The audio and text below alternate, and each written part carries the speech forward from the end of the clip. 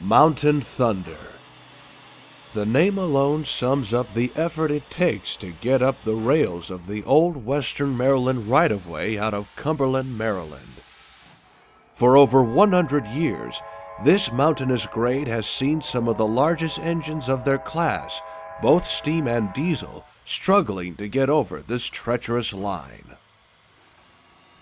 For over two decades, the Western Maryland spirit was well represented from the unlikeliest of sources, a Michigan based iron ore hauler.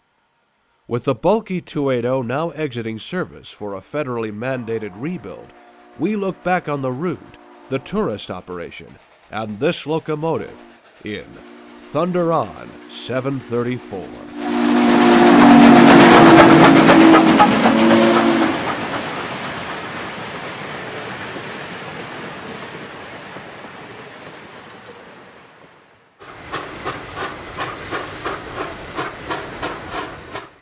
Original line was operated by the Western Maryland Railway from Cumberland to Connellsville, Pennsylvania. With other railroads taking easier routes around the Allegheny Mountains, the Western Maryland went up the mountain grades. To say it was mountainous was an understatement, but the line served the trains well. From the early 19th century until 1979, the Western Maryland used its line quite thoroughly operating big steam and a variety of diesels for two purposes getting freight and getting passengers through the mountains. With the merger of the WMRY with the C&O and B&O to form Chessie System, the steep line didn't take long to become abandoned. However, the famous line wouldn't lie dormant for long.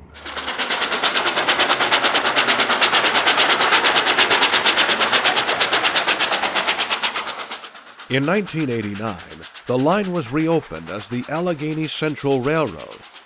Power was an eccentric mix of recreated WM diesels as well as a pair of Canadian Pacific 462s. This operation lasted for three years until it was rebranded as the Western Maryland Scenic Railroad and would rebrand themselves with their iconic steam locomotive.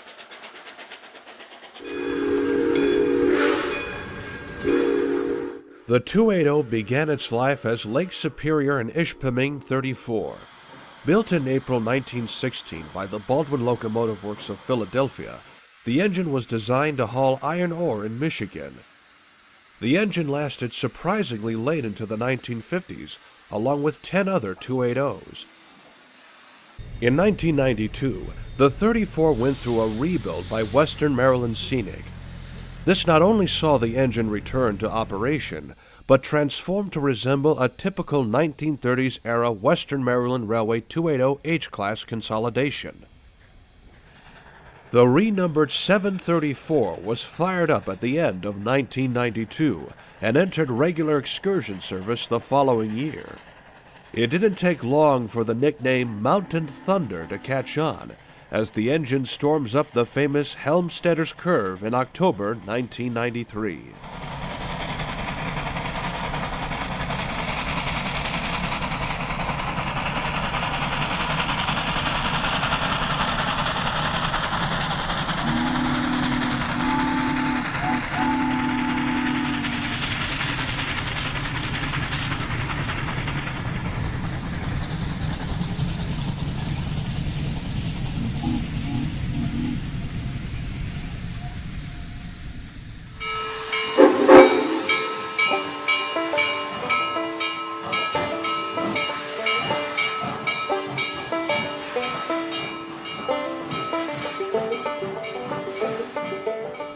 In at nearly 275 tons when loaded, and with an operating pressure of 200 psi, the 734 has over 60,000 pounds of tractive effort, more than enough to put on a grand show on these mountain grades.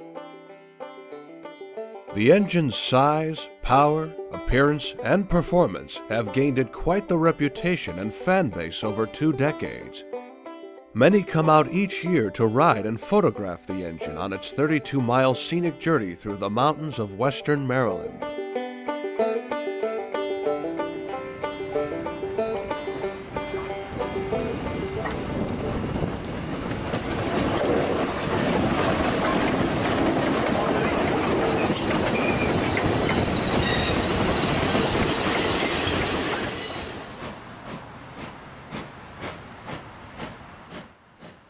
This journey begins just across the Potomac River in the railroad shops and yard in Ridgely, West Virginia.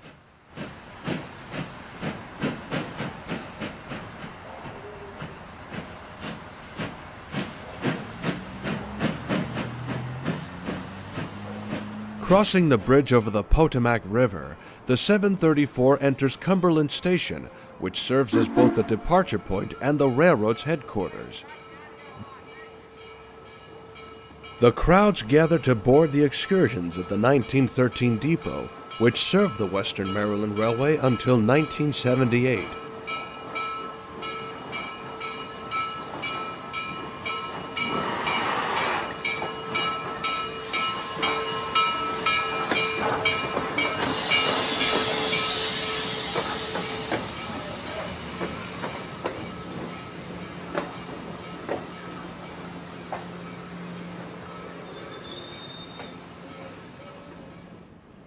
Immediately after Cumberland, the train enters the Narrows, a passage between Wills Mountain and Haystack Mountain just west of Cumberland. With WMSR tracks, the river, the road, and the CSX main line, the name is appropriate.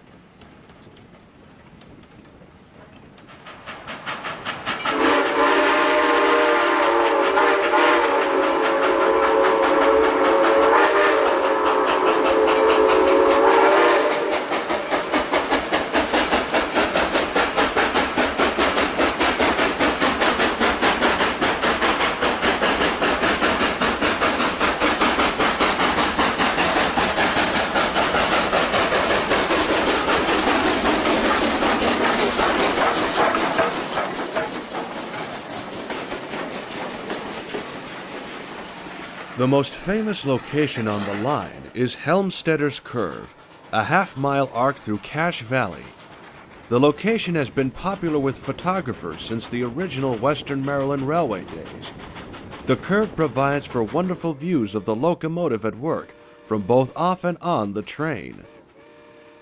Shortly after traversing the curve, 734 reaches another iconic location on the line, the 918 foot long brush tunnel.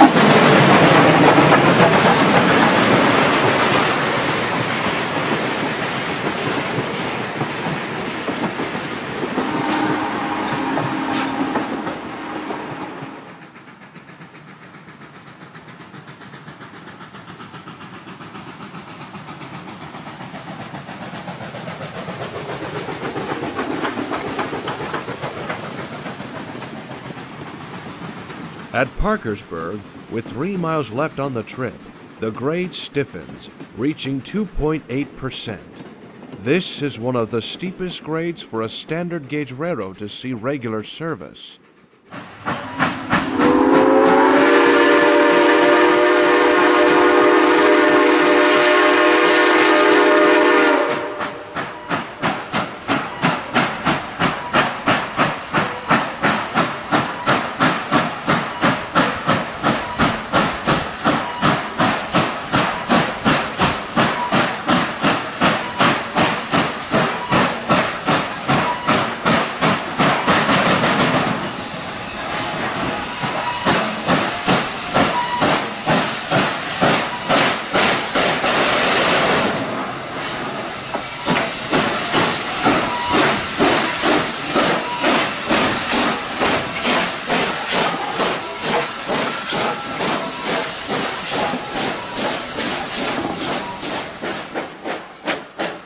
Frostburg Depot actually sits on the rails of the Cumberland and Pennsylvania Railroad, which was WMRY's entryway into Frostburg.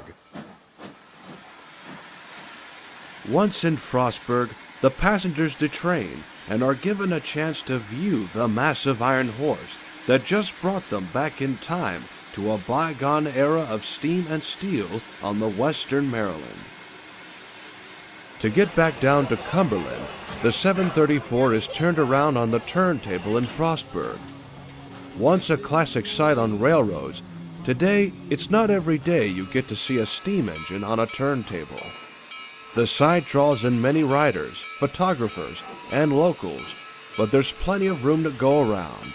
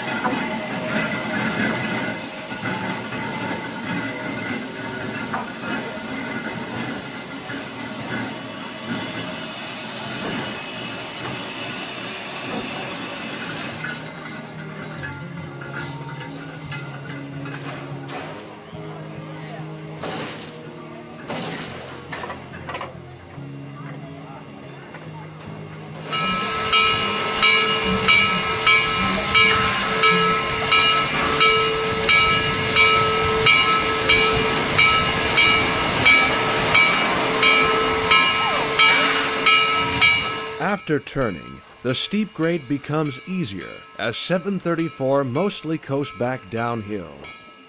The engine did this operation three times each week from early May to mid-December.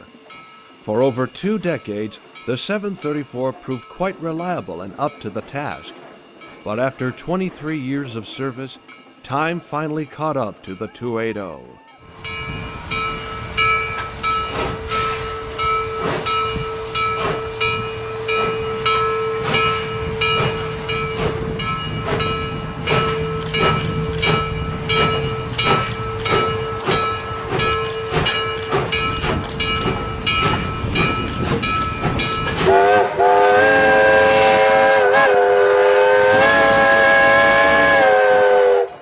Engine became due for a federally mandated inspection required every 15 years. Due to the upcoming expiration of the engine's allotted boiler time, as well as limited funding, and the unknown circumstances on the 734's boiler, the railroad was uncertain when or if the 734 would be returning. So three fan photo specials were organized for the last few months before the engine was to be pulled from service for an indefinite hiatus. In February 2016, a Lerro Productions photo special operated from Cumberland to Frostburg, recreating scenes of the steam era on the WM using 734 and some of the railroad's freight cars. This would turn out to be 734's final trip to Frostburg, due to a landslide along the route. In April, 734 would operate for two more photo specials, but the trips would be limited as far as Woodcock Hollow. For now, we'll let the 734 do the talking. Enjoy the sights and sounds of Mountain Thunder on the February and April 2016 photo specials.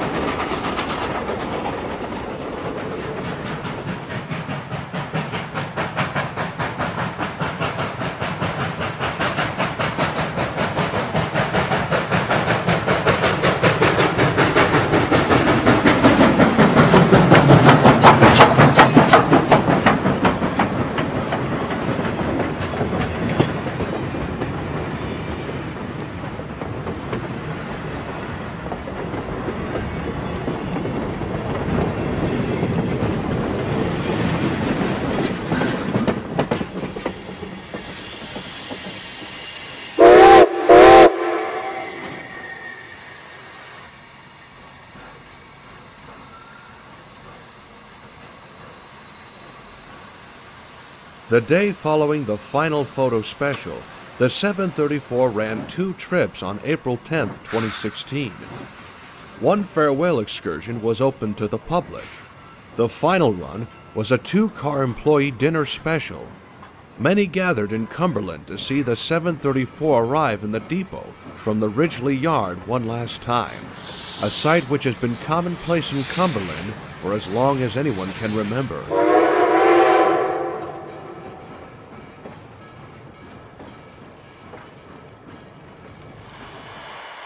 Due to the landslide, the railroad could not run the excursions beyond Woodcock Hollow, about the halfway point on the line.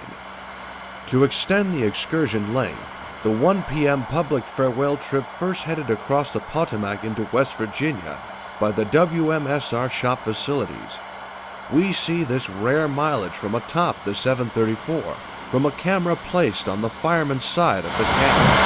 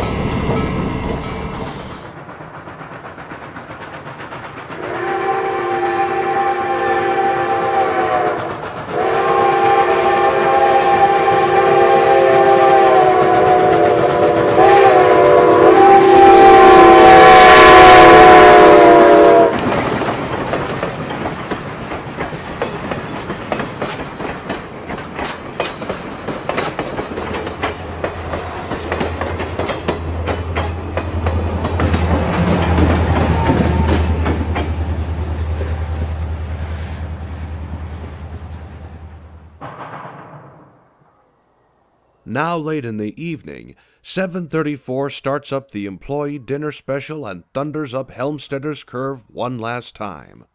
One last chance to view a sight which has been iconic of steam railroading for decades. We get to see the 734 thunder on.